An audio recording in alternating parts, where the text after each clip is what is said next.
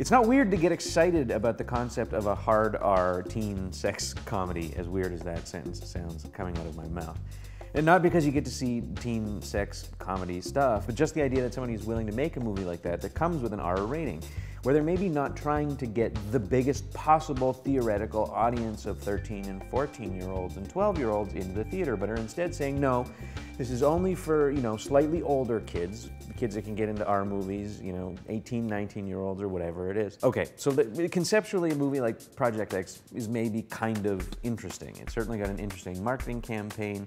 It's made by an unknown director, starring a bunch of unknown actors, about the biggest teenage party of all time. And the genesis for the idea idea of the story, obviously without having done any research, is this viral uh, web clip of this Australian teen kid that threw a party that went so out of control that it ended up being on the news and he got sued and he got charged and he went to jail and I think they executed him or something. And um, anyways, Nima Nourizadeh is the director from the producer Todd Phillips, who directed and produced the Hangover series.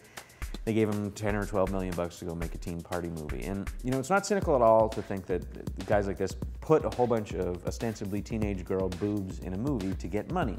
That's, you know, a transaction that's been happening for almost as long as movies certainly as long as photography has been around. Where it gets weird and you start to feel paranoid, I certainly did watching Project X, is when you get the sense that they're putting so many teen boobs, so many context-free nipples and girls shaking their butts seductively into the camera that it seems like a sort of self-handicapping where they think, okay, this movie's already going to be, you know, criticized by people. If we put in so many boobs in, it'll seem like the criticism is a moral one when people are saying, oh, Project X is a bad movie, it's got so many boobs, that's a dog whistle thing that goes out to teenage kids and they think, well, if adults don't like it because it has boobs in it, it's gonna be amazing. The thing is here, let me be very clear. I don't like Project X, not because of the teenage boobs, I don't like it because it's a bad movie. It's not very well put together. It looks like a rap video where the rap band is three, uh, you know, suburban 16 or 17 year old white kids that somehow are given the ability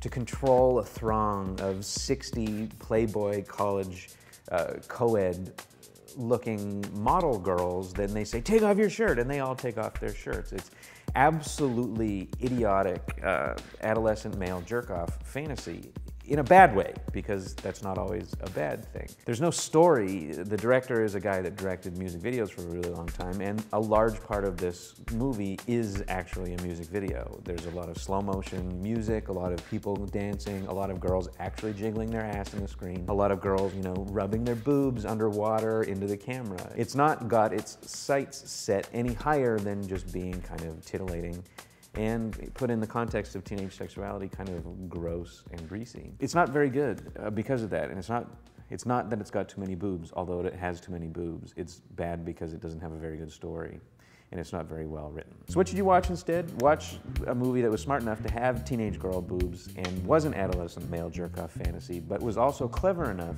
and had enough of a story that it was able to recontextualize the teenage male jerk-off fantasy over teenage girl boobs and make that part of the story so that it becomes about teenage sexuality and teenage anxiety and stuff like that rather than just an exploitation of teenage sexuality and anxiety. And watch Fast Times at Ridgemont High, directed by Amy Heckerling.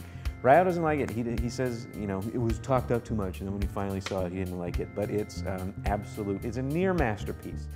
The great shame of the 80s was Amy Heckerling kind of peaking early and then making a bunch of funny, if not particularly, you know, intelligent or remarkable movies after that. Oh, that's maybe being unfair to Amy Heckerling. She made a bunch of landmark movies, just none of them that had the kind of chutzpah that Fast Times at Ridgemont High did. So watch that instead.